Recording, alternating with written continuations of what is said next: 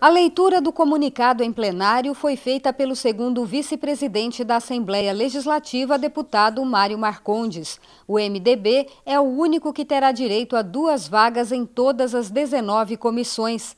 O PSD e o bloco parlamentar formado por PP, PR, Podemos e PSB terão direito a duas vagas nas três comissões com maior número de membros.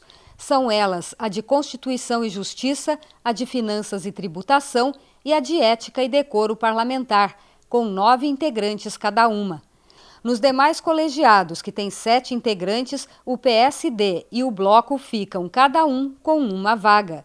Já o PT, PSDB e o conjunto das bancadas do PCdoB, PSC e PDT terão direito, cada um, a uma vaga em cada uma das 19 comissões permanentes. Esta divisão obedece o regimento interno da Assembleia Legislativa e leva em consideração o tamanho das bancadas no dia 1 de fevereiro. Quanto mais deputados tem um partido ou bloco parlamentar nesta data, maior é a quantidade de vagas a que tem direito nas comissões. O prazo para a nomeação dos membros de cada comissão é de cinco sessões a partir da última quarta-feira, quando o comunicado foi lido em plenário.